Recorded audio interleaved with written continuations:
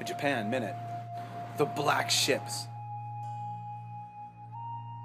The Black Ships, or the Kurofune, were the name given to ships that belonged to Westerners arriving in Japan in the 16th to 19th century. The Portuguese initiated the first contacts with Japan in the 1500s.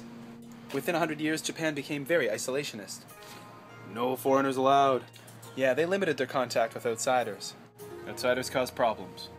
In 1853, the US Navy rolled into town with four ships.